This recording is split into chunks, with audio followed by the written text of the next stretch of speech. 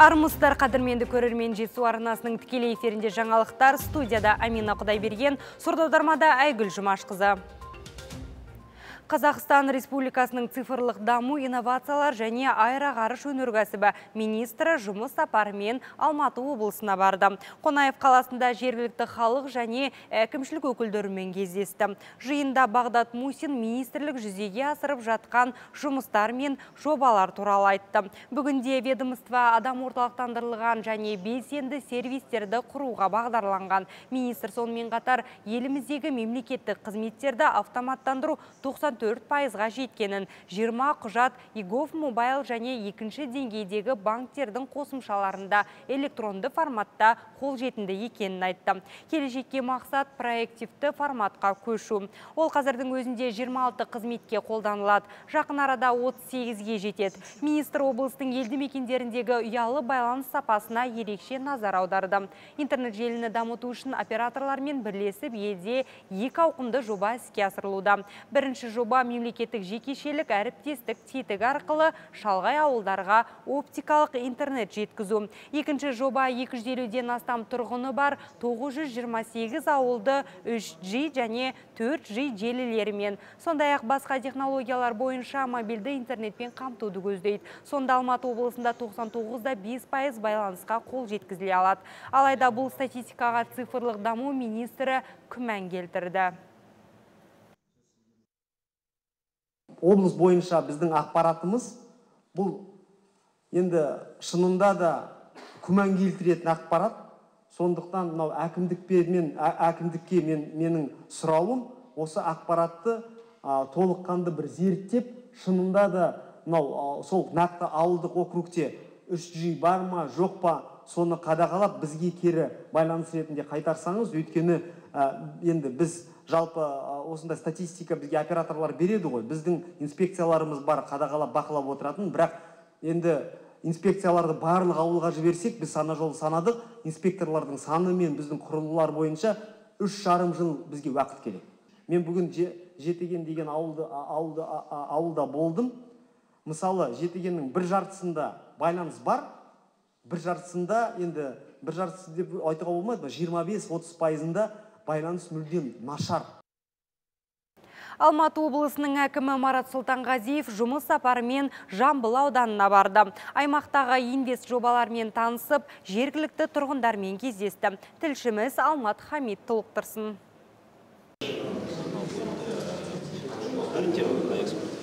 Облыс басшысы тұрғындармен кездеспес бұрын ауданда жоспарланған инвестициялық жобалармен танысты. Қатарында алтын өндіру фабрикасы керамикалық тақтайлар өндіру зауыты бройлерлі құс фабрикасы мен ет комбинаты балық шаруашылығы мен тігін цехы бар. Ішіндегі ірісі құны 74 миллиард теңгелік белес агро жауапкершілігі шектеулі серіктестігінің жобасы. Фабрика ашылса үш мыңға жуық адамды жұмыспен қамтып жылына 100 мың тоннаға дейін құс етін өндірмек.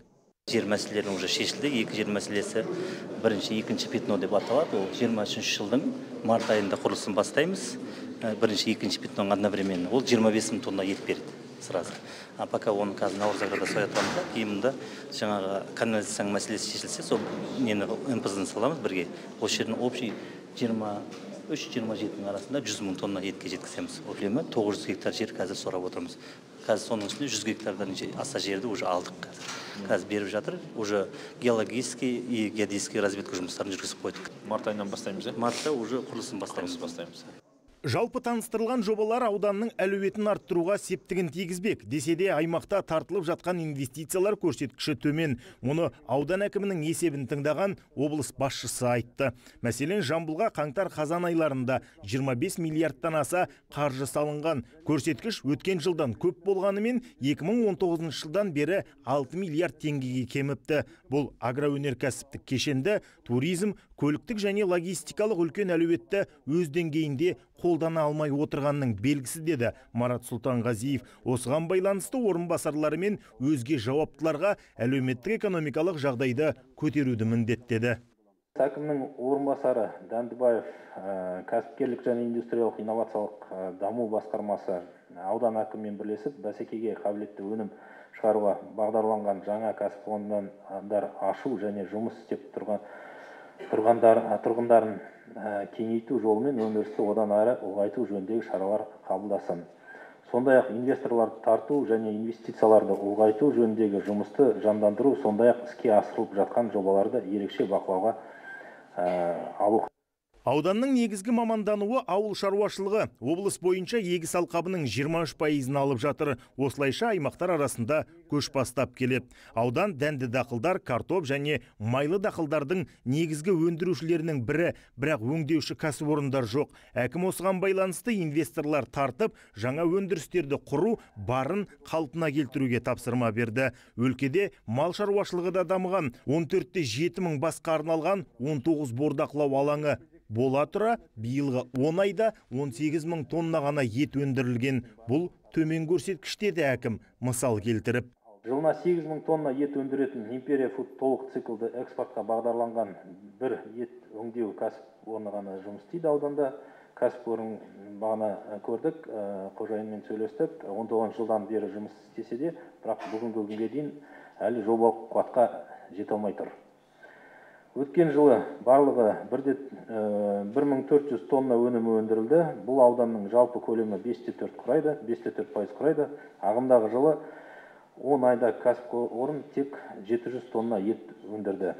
Бұл ет өңдеу комбинаты мал өткізуге шаруа қожалықтарын тарту бойынша жұмысты жақсарту Марат Сұлтанғазиев одан бөлек туризм, тұрғын үй, ауыз су, жол бойынша сұрақтарды көтеріп, артықшылығы мен кем-кетік тұстарын айтты. Сонымен қатар тұрғындарды жұмыспен қамту мәселесіне назар аударды. Ақпар бойынша аудан азаматтарының 23 мыңнан көбі өзін-өзі жұмыспен қамтыса, 4 мың адам екі қолға бір күрек таппай жүр.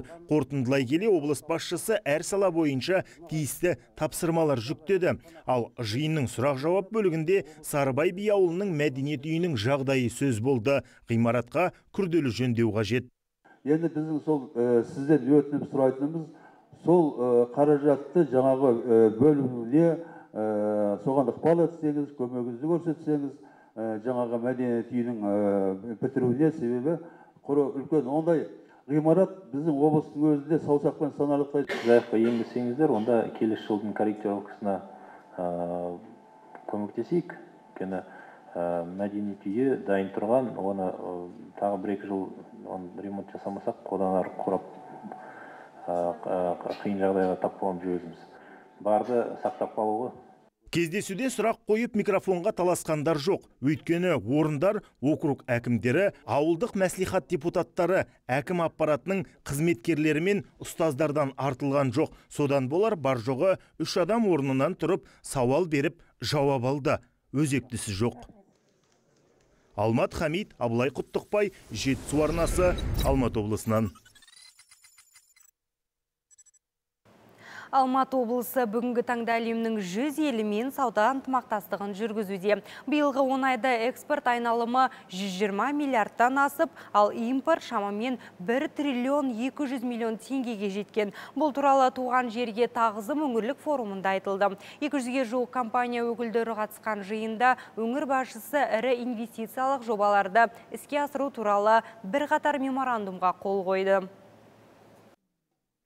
Көріп отырғанымыздай қазіргі экономика көптеген жаһандық өзгерістер мен жаңғыртуларға ұшырауда. Мұндай уақытта мемлекетті қолдау ірі шағын және орта бизнес үшін бұрынғыдан да маңызды. Бұл туралы Алматы облысының әкімі инвестициялық форум алаңында айтты. Айта кетейік, өңірлік форумға министрліктердің, ұлттық холдингтер мен компаниялардың, қаржы институттарының, трансұлттық корпорациялардың басшылары, ірі шетелдік және отандық бизнес өкілдері, ғалымдар мен сарапшылар қатысты. Марат Сұлтанғазиев олардың әрқайсысымен тығыз және жемісті ынтымақтастыққа дайын екендігіне сенім білдірді ровно шесть месяцев назад было принято решение об изменении административно-территориальной территориального устройства региона. Таким образом, регион был Жицуская область разделена на два. Алматинская область, Жицуская. Поставленная главой государства задача имеет большое значение для развития алматинской агломерации. Это позволит сконцентрировать усилия на развитие потенциала нового региона, начиная от областного уровня и вплоть до каждого сельского округа. қазіргі күні алматы облысының инвестициялық портфелі 870 миллиард теңгеден асады. Бұл 140-қа жуық жобаның құны 9 мыңға жуық жұмыс орны ашылады. Мамандардың айтуынша өңірді дамытудың басым бағыттары экономиканың логистика туризм ауыл шаруашылығы жаңартылатын энергия көздері өңдеу өнеркәсібі оның ішінде фармацевтика салалары болып табылады. Что он был очень продуктивным, очень менің ойымша бұл форум бизнес өкілдері үшін де мемлекеттік мекемелер үшін де өте пайдалы өте тиімді кездесу болды. Ашық микрофон алаңында тараптар өзін қызықтырған сан сауалдарды талқылады қажетті ақпараттарды алды деп ойлаймын. Ірі компаниялар өкілдері инвестициялық форум алаңында алматы облысында жүзеге асыруды жоспарлап отырған өз жобаларын таныстырды. Олардың әрқайсысының ауқымды стратегиялық маңызды әлеуеті бар. Айта кетейік өңірде тиісті өндірістік кәсіпорындарды орналастыру үшін төрт индустриялық аймақ құрылды. Олардың екеуі инфрақұрылымдық объектілердің құрылыс монтаждау жұмыстарын аяқтау сатысында. Басқа екі арнайы аумақ жобалау процесінде. Сонымен қатар браунфилд қағидаты бойынша технологиялық парктерді тұрғын үйлерін кәсіпкерлікті дамыту орталықтарын ашу жоспарлануда үздік компаниялардың топ менеджерлері бірлескен қызметке зор қызығушылық танытты Сегодня новый этап. Новый этап, когда мы хотим увеличить... Бүгін жаңа бір кезең басталды деуге болар. Еліміздің фарма өндірісінде 50 пайыздық өнім өзіміздікі болса деп ойлаймын. Шикізатты өңдейтін зауыттарды салсақ, локдаун, карантин сияқты әлемдік проблемалардан Қазақстан зардап шекпейтін еді. Яғни мемлекет медициналық фармацевтикалық тұрғыдан тәуелсіз ел болса дейміз. В следующем году создаем Центральноазиатский инвестиционный аграрный фонд. Келесі жылы орталық Азияның аграрлық инвестициялық қорын құрамыз. Агроөнеркәсіптік кешенді орталық қаржыландырады. Ерекшелігі ауыл шаруашылығына қатысты шешімді сарапшылар қабылдайды. Барлық қаржы тек Қазақстан ғана емес, орталық Азияны қамтиды. Мысалы, агроөнеркәсіптік компаниялардың көбі несие алған. Сол себепті айналымға түсе алмай жатыр. Қор сондай компанияларға көмектеседі. Бұл инвестициялық шараға 200-ге жоқ компания өкілі қатысты. Өңірлік форум аясында жалпы сомасы 819 миллиард теңгеге ынтымақтастық туралы 40 меморандумға қол қойылды. Облыс әкімі Марат Сұлтанғазиев сөз алғандардың баяндамалары мен тұсаукесерлері өте мазмұнды болғанын атап өтті. Іскер азаматтармен бірлесе жұмыс істеу өңірге инвестиция тарту ауқымын ұлғайтып, дамуына жаңа серпін беретініне сенім білдірді. Формат сегодняшнего форума, форума именно был такой, что мы думали пригласить тех э, инвесторов, которые уже на территории области работают, либо э, так или иначе э, связаны с нашей областью. Поэтому еще раз хочу выразить огромную благодарность за присутствие. Долго терпели, в пределах мы одного, ну, полдня этот форум заканчиваем. Дальше у кого есть вопросы по B2B или к нашим госорганам, то, пожалуйста, все будем готовы ответить. Жазира Исаева, Жандос Назарбаев, Айдос Қалиев, Жетісу телеарнасы, Алматы облысынан.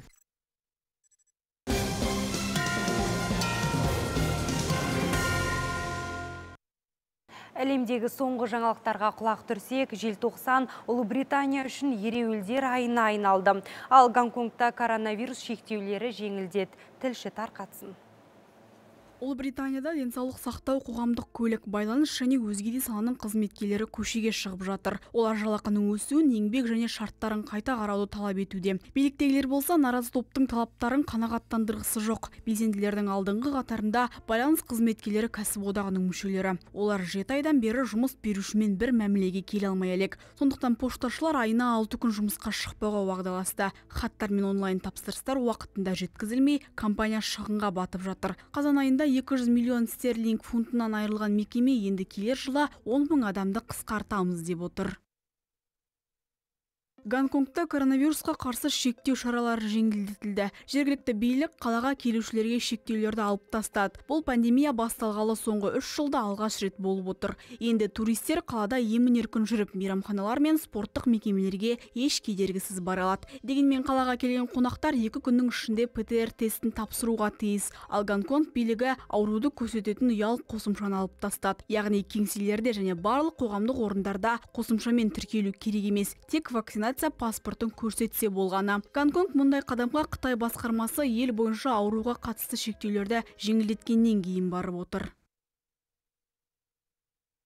Бір жылда әлемдегі биология тұрғыда ең алуан бразилия саваннасының 25 проценті жойылған. Яғни 12 айдан 10 мың шақырым орман алқабы құрған. Бұл туралы үкіметтің жылдық есебінде айтылды. Сарапшылар еуроодақ бразилиялық компаниялардан ағаш сатып алуға тыйым салуы мүмкін деп есептейді. Көптеген шаруа қожалығы мал бағып соя мен жүгері өсіру үшін ағаштарды аямай кескен. Бірінші қаңтарда қайта сайланған президент лула да силва 2030 жылға дейін ормандардың жойылуын толық тоқтатамыз деп уәде берген.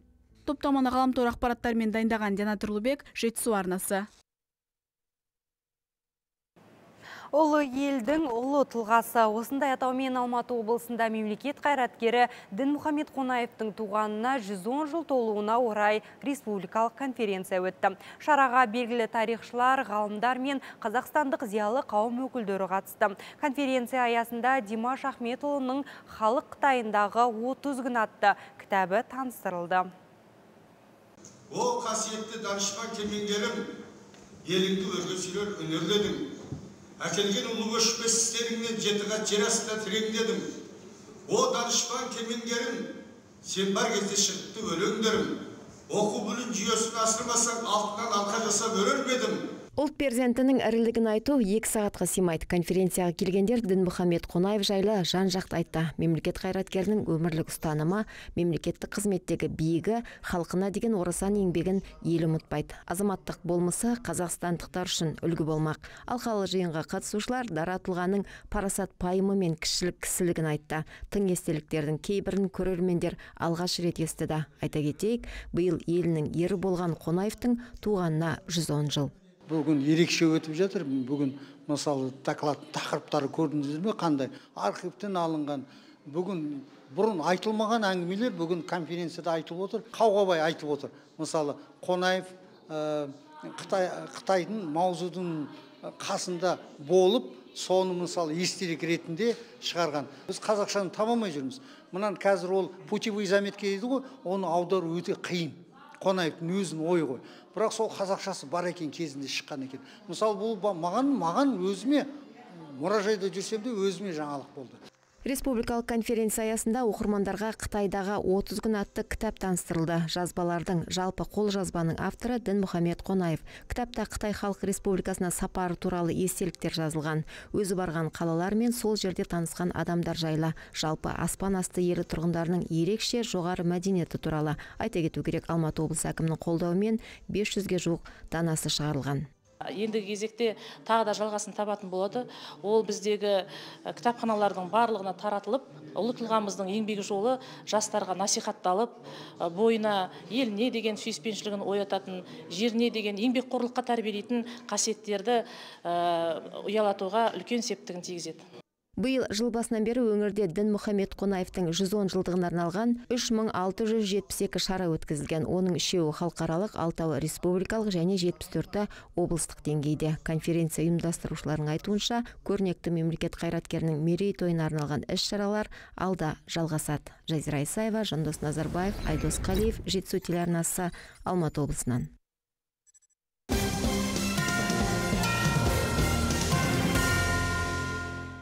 Қонаев қаласында волейболдан Алматы облысы чемпионатының қысқы туры басталды. Балалар мен жасөспірімдер спорт мектебінде өткізілетін жарысқа 14 команда қатысады. Олар облыс орталығы мен жеті ауданның 18 жастан асқан ерлер мен әйелдерінен жасақталған. Ұйымдастырушы Алматы облысының дене шынықтыру және спорт басқармасы мен Алматы облысының спорттық бұқаралық іс-шараларды өткізу орталығы. Ақжарма тілек жарқын жеңіске жетелейді. Облыстық чемпионаттың қысқы туры ашылымында ұйымдастырушылар жарысқа қатысушыларға командалық рух пен сәттілік тіледі. Сондай-ақ барлық ойыншыға сүйікті спорт түріне адалдықтар үшін алғыс айтты. Жалпы әр ауданның мықты командалары бас түйістіретін мұндай сайыстар волейболшылардың күш қарымы мен шеберліктерін байқауға мүмкіндік береді. Мемлекет басшысы Қасым Жомарт Кемелұлы Тоқаев өзінің жолдауында бұқаралық спортты дамыту, әсіресе балалар спортын дамыту үшін үкіметке нақты тапсырмалар берген. Бүгінгі таңда салауатты өмір салтын дамыту үшін насихаттау үшін осы бұқаралық сипат алған ойын түрлері футбол волейбол баскетбол сияқты сынды спорттарды дамытудамыз өңірімізде міне бүгінгі жарыс ол волейболдан ересектер мен әйелдер арасындағы алматы облысы чемпионаты. Жарыс дәстүрлі форматта көктем жаз күз бен қыста өткізіледі. Алдыңғы үш тур қорытындысы бойынша жалпы есепте еңбекшіқазақ ауданының өкілдері көш бастап тұр. Екінші орынды қарасай ауданы үздік үштікте жамбыл ауданы волейболшылары бар. Ал қысқы турға келсек бірінші матчта қатысушылардың барлығының тек жеңіске деген ниеті байқалды.